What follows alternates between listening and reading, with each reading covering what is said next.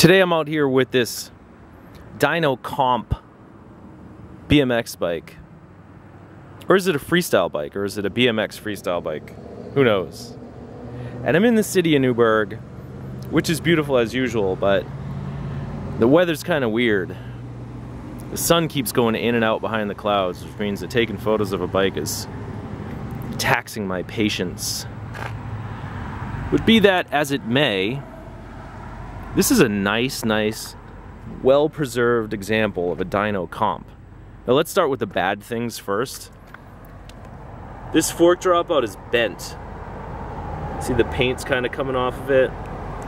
And it's bent, which means that the wheel is like a little cocked in the fork. I'm not gonna try and do anything about that.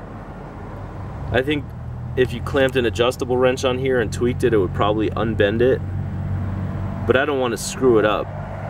So I'll sell it just like that. It's not really a huge deal. I mean, it's not like you're gonna be bombing down a hill with this thing at 100 miles an hour and you have to worry about any like that stuff. Next you got your GT tires and for those of you who are too young to remember the days when you could walk in a local bike shop and buy these for like 12 bucks a piece, these are awesome tires. For street, for dirt, for ramps, they were super versatile and they look good. They got the GT logos. I think these are later GT tires. I think on the earlier ones, the GT logo here was a little smaller. I could be wrong. But those are great tires. Unfortunately, they're totally cracked. You gotta watch out for that with these older bikes because these tires have very little wear on them. In fact, the little nubs are still there, like the molding nubs. But because of their age, they have these little cracks, and if you put high pressure in them, those cracks could cause problems.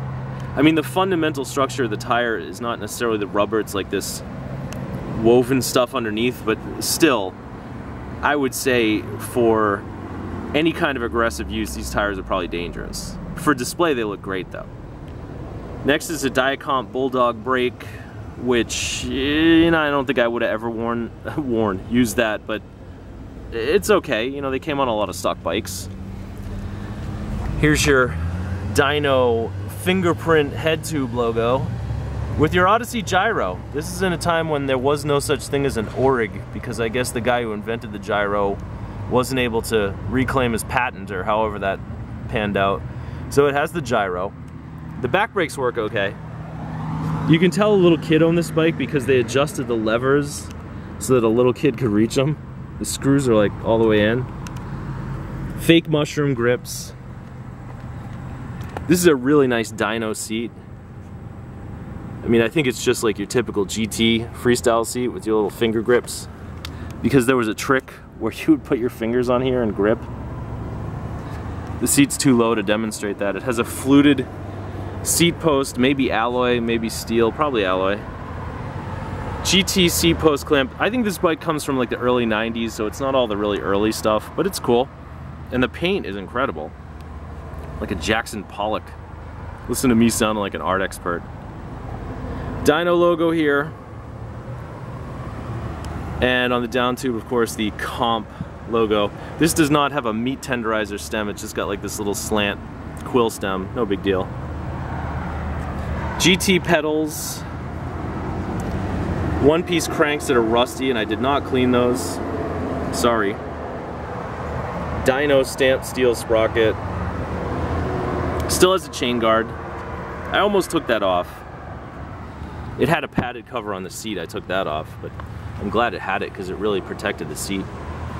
Here's your handles, like your finger indentations. The Bulldog in the back. Nice little dyno logo there. I think that's cool. Dyno logo here. Typical BMX freewheel, steel hubs, and these are steel rims. They look like those old Ukais, but they're actually steel.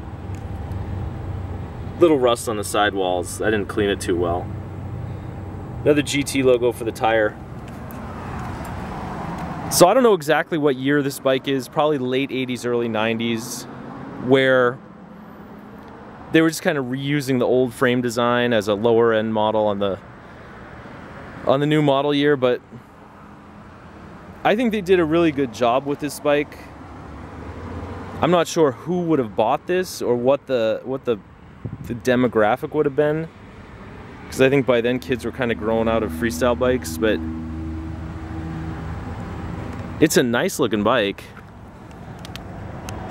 designed and engineered in the USA does that say engineered? I can't really see it and made in Taiwan it has a chromoly down tube I don't know why they would do that. They would make one or, one or two tubes out of chromoly, probably just so they could use that term on the bike and make it sound better.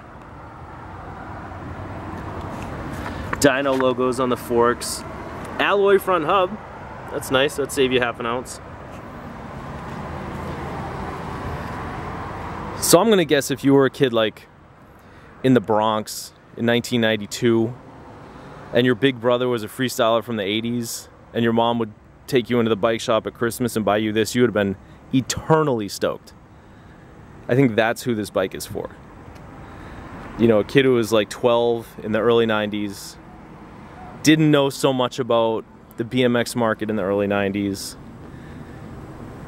And I'm sure there are people who would absolutely latch onto this because it would bring back a lot of nostalgia. Plus it's a nice shape other than that bent dropout.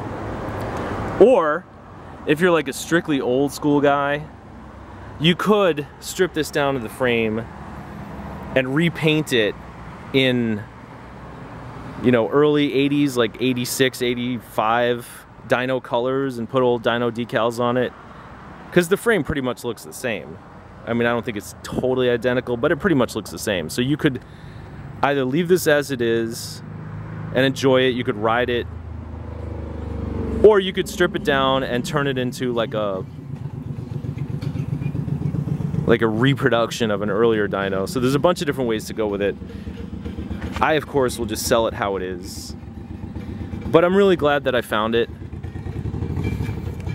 because it's such a cool bike.